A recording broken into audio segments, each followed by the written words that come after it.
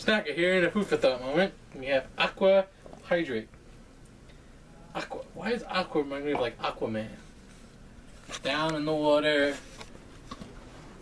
living in the water, you know. But it's supposed to hydrate. But it doesn't say water. It's kind of it's kind of funny how it says contains water.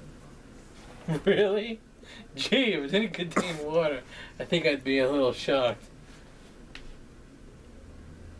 Purification process, process, blah blah blah, seven stages, blah blah. It's just water filtered. Why have to make it sound so upscale, like it's like it's gone through surgery and then back?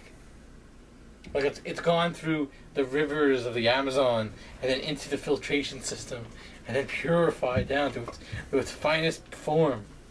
Then add to the bottle so we can say, oh, it's kind of funny how it says pH 9. What, what, what are we in? Physics? Chemistry class? We're talking about acid and, and bases. pH 9, you know what that sounds like? Acidic. Sounds like it would burn my throat. Like I'd be going.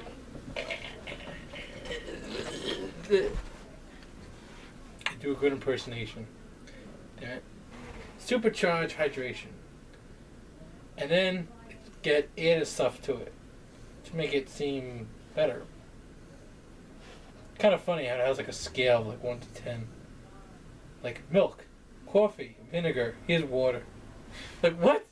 How do you put water on the same scale? I don't know. I like to see DL's version of water. Be like, really? I don't know. He explain? That's five cents too. Is Pete? Is Pete? Does it say Pete on it? I think it probably does say Pete.